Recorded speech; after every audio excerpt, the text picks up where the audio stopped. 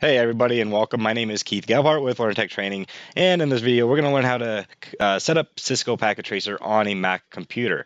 Now, here you can see we are running Cisco Packet Tracer on a Mac computer, but you're also noticing it's a different operating system that you're normally used to seeing. Well, that's because it's Linux, okay? We have to actually install a virtual machine onto your Mac computer, which doesn't harm your computer whatsoever. Once we install that virtual machine, we install uh, what's called Linux Ubuntu, and that'll allow us to install Cisco Packet Tracer so you could run it on your Mac computer. So now you can see that I am on a Windows computer. Now this makes no difference whatsoever, especially for the beginning part of this video, okay? The only thing you need to be worried about is going to virtualbox.org and installing the OS X host. And then when you're done installing that, you can go back to Ubuntu's website, which is www.ubuntu.com. And you're just going to click the desktop icon here. And then when this page loads, you just click download Ubuntu. Now, there is another alternative to Oracle's VM or VirtualBox, and it's called VMware.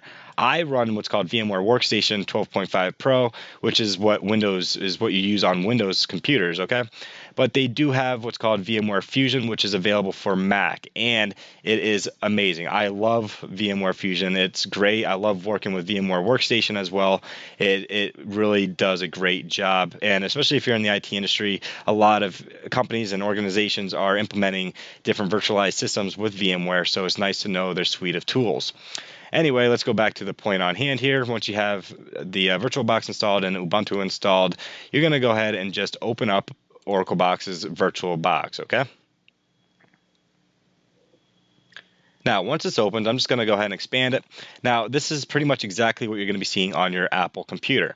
All you got to do is hit New and just give it a name. I'm just going to name it Ubuntu underscore PT for packet tracer. Type is Linux, versions Ubuntu. That's okay. Just hit next.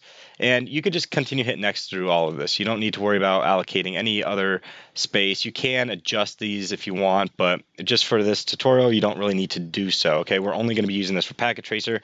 We don't need to give it a lot of memory or RAM. So we're going to go ahead and hit create, but we are not done. So as soon as this creates the instance of our operating system in our virtual machine, we need to set up the um, file which it's going to load from, its boot file. So let's go ahead and go to storage. And under controller, it says IDE. That's fine, but we got to go ahead and click this. We're going to actually, actually, I'm sorry, we're going to click controller, click the add, choose disk and navigate to where your Ubuntu file is. It'll be an ISO extension. Just click that and click open. Now you can see it also um, left that empty partition here. I'm just going to go ahead and remove attachment. All I did was right click and click remove attachment just so it, it makes it easier. And then I'm going to click live CD DVD right there and click OK. Now once that goes ahead, all you got to do is click start. Now this might take a moment, so be patient. Now that it's open, I'm going to go ahead and just expand my window. Whoops, not close it. We're going to expand it. And you're going to get a couple of these little windows pop up here on the top. You could just click the little blue X and it will close those out for you. And here I'm just going to wait until you start seeing everything start loading. And again, this might take a few minutes, so don't panic. It will go through. You'll be then prompted with a try Ubuntu or install Ubuntu option. Make sure you select the correct language that you want to use and click install. You're going to go ahead and click Download Updates while installing Ubuntu click Continue. Go ahead and click Erase Disks and install Ubuntu. This is not going to harm anything on your computer. Again, you have created a new virtual partition on your physical computer. So anything you do from here moving forward on this virtual machine will not affect your physical computers. Okay, so go ahead and click Install now and click Continue. Now make sure you just select the correct time zone that you are in. It's not really that important, but it just makes life easier. So go ahead and click continue once you have it. And then go ahead and select the proper language for your computer. Now the name is just whatever. You don't have to be all technical with it. I'll just put my full name in. The username will kind of be like your um, computer name almost, if you will. And then your password, I'm just going to type in simple. Just remember what this is because you need this for when you install Packet Tracer, okay? So go ahead and click continue and just let this go ahead and install.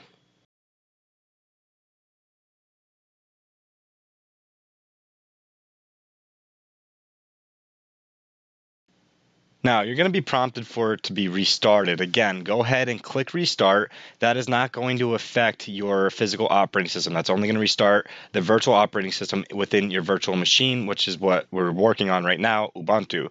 So go ahead and restart that. And then when you get back into it, it's going to be prompting you for the password that you created for this operating system. And remember, I said mine was simple, S I M P L E. Go ahead and enter. Again, you need to remember that password because that is going to be necessary for when we install Packet Tracer on our system here.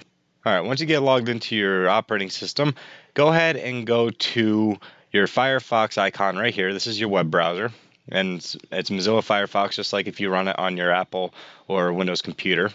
Once you get into Mozilla Firefox, you're going to go ahead and type in www.netacad.com. Now, this is Cisco's Network Academy website where you need to go to actually install Cisco Packet Tracer. If you do not have an account with netacad.com, you need to create one. It is free to create one, and I recommend you create one only not only to follow this tutorial, but there's a lot of useful information on this website as well. So you're just going to go ahead and create an account or log in. I'm going to go ahead and pause the video while I log in. And once you're logged in, you're just going to scroll all the way to the bottom here where it says Packet Tracer. You're going to click on that and it's going to open up Packet Tracer's download window. Now, again, since we are on Linux, we need to install the Linux version and just select the operating system that you're running. Now, I know I'm running 64-bit, so I'm going to go ahead and click 64-bit download. And now you're going to get a little dialog message window here. I'm going to save the file. I'm not going to use Archive Manager. Just save the file, click OK, and you're going to see a download status up here. And I'm just going to go ahead and pause the video while this goes through. Once this is done installing, we can go ahead and close out Firefox and close both tabs. All right, so now we can go ahead and open up our applications and just type in TER here so terminal pops up. It'll be this first icon here. Just click it to open it. And I'm going to expand this window so you guys can see it a little easier. And I'm going to type in ls downloads. Now, if you're not familiar with Linux, it is case sensitive. Now, I can see packet tracer 70 underscore 64 bit linux.tar.gz right there. That's the file I need to access, and it is zipped together. And I know that because of the tar.gz extension. Now, we need to change our permissions to be able to you know, modify that. So I'm going to do chmod plus x, and I'm just going to type in downloads forward slash packet tracer. Again, capitals and case sensitive matter. 70 underscore 64 bit underscore linux dot tar dot gz. Enter. And now I need to extract all the files from that folder. So let's go ahead and type in tar space hyphen zxvf space downloads slash packet tracer 70 underscore 64 bit underscore linux .tar.gz once again. Hit enter, and here you can see it's extracting all of these files for us. Now, once it's complete, it might take a second, you're going to see it gives you green back down there. Let me hit enter a few times so you can see it. And now we're going to just simply type in cd packet tracer, again, capitals matter, 70 forward slash. And here I'm going to go ahead and type ls and look at that, the big green, it's kind of just sitting there screaming out for us. So we need to do sudo for super user bash install, hit enter, and now it's going to ask you for your password for your operating system. So mine is simple. So I'm just going to type in simple. And now this is the EULA terms of use. Just hit enter until you get to the bottom. Notice the little percentage there at the bottom left corner though. So when you get to about 80 or 90%, you want to slow down because if you accidentally pass the question it's going to ask you, you got to go through this all over again.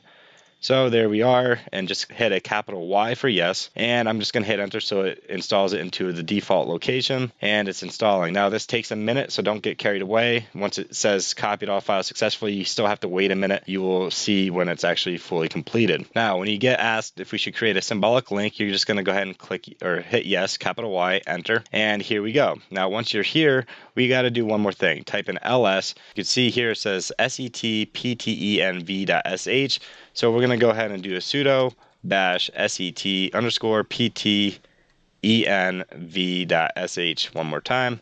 And that is good. Now, the only thing we have to do is type in packet tracer, all lowercase this time, hit enter, and it will load up for us. Now, since this is the first time we are accessing Packet Tracer, you have to sign into your Netacad account one more time. So once this loads up, you'll see it's going to prompt you to do that. And I'm going to go ahead and pause the video so I could access or enter my information for you guys. And once you enter your password credential information, Cisco Packet Tracer opens up for you. All right, guys. Well, I hope you guys found this helpful.